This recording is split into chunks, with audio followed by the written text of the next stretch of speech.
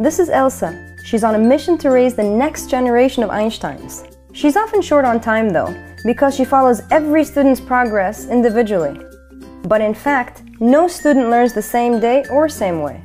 With that in mind, Elsa started to use Augmental, an online tool that provides student progress. So she can help Nemo by explaining blood type combinations whenever he gets stuck, and mentors Wally and Aladdin who are interacting with an immersive view of body parts. Now she's back on track and has more time to develop her material easily.